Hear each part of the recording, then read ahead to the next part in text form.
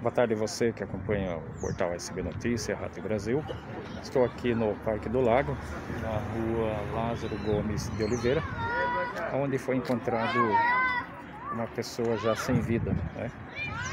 Então, ele morava na rua e era catador de reciclagem, né? Foi encontrado aqui. Veja, acompanha mais detalhe no portal SB Notícia.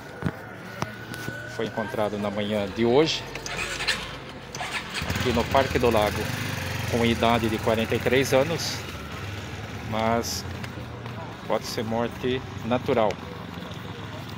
Mais detalhe acompanha no portal SB Notícias.